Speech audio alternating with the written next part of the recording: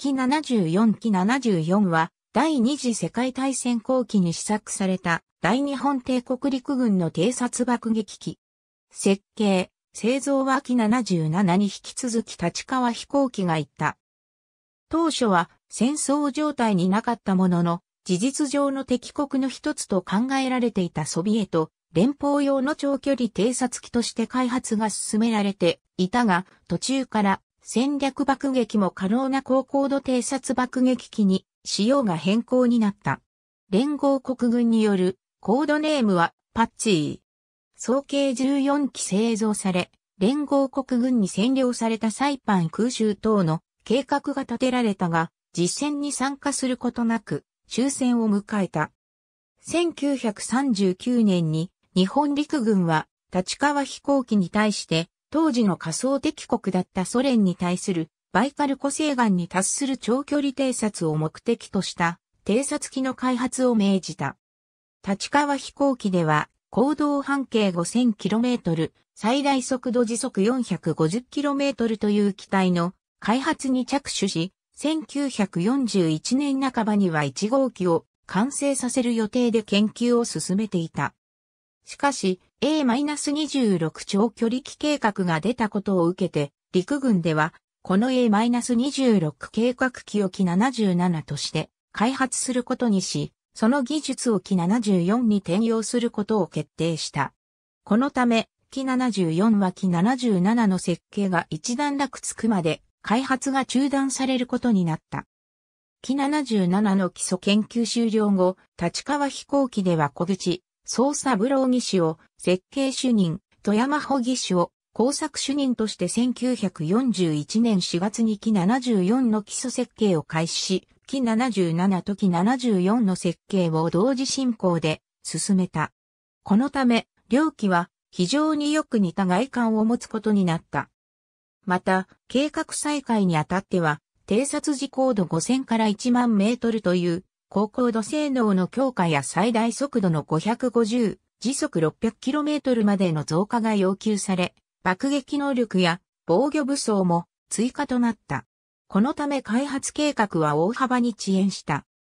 1944年3月に試作第1号機が完成し、同年5月25日に初飛行したが、当時の日本の工業力では排気タービン付けのエンジンや余圧式キャビンの実用化は難しく、正式な審査が開始できる試作機が完成したのは1945年1月になってからだった。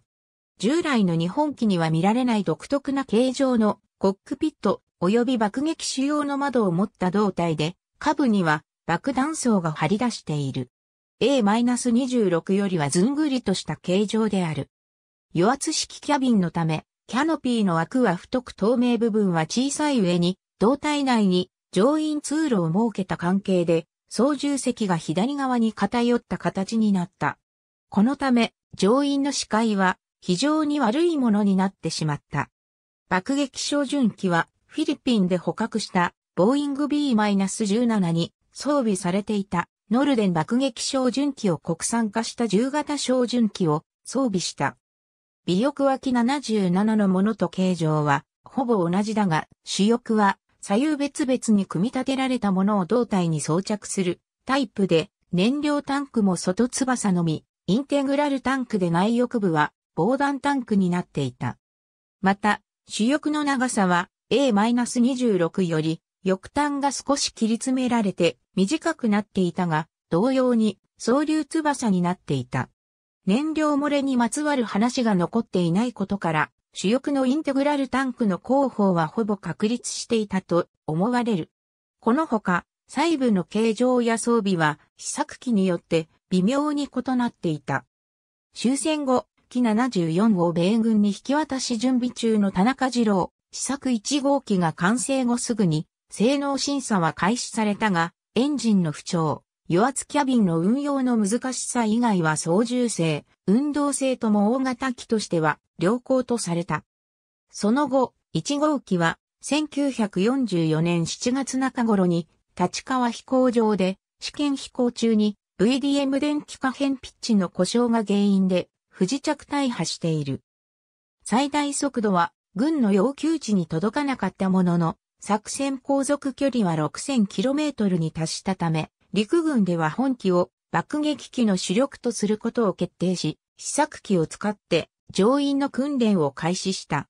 また、縦安定性の不良が指摘されたため、形状の異なる複数の水平尾翼が試験された。続いて1944年8月2日に完成した2号機は失敗に終わった機77の2号機によるセ号飛行に代わる日独連絡飛行、野号飛行に用いることが計画されており、野号機と呼ばれていたが、実施前にドイツが連合国に対して降伏したため、テスト飛行のみに終わった。陸軍では当初本機を使ってパナマ運河の攻撃を海軍と共同で行う計画を立てていたが、搭載する爆弾の量から効果が疑問視され、途中からまとまった奇数でのサイパン島の B-29 基地に対する攻撃に計画が変更され、1945年9月1日の実行が予定された。また、アメリカ本土爆撃とパラシュート降下した乗員によるゲリラ作戦も考えられていた。しかし、いずれも実現することなく乗員の訓練中に終戦を迎えることとなった。1944年に3機、1945年に11機が製作され、うち終戦時には少なくとも4機が残存していた。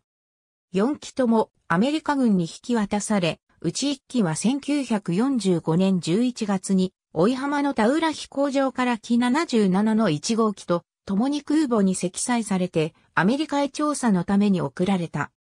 残存機は1機を除きたはスクラップ処分となり、残った1機も飛行試験は行われず博物館に展示されることになっていたが、その後行方不明になってしまった。ありがとうございます。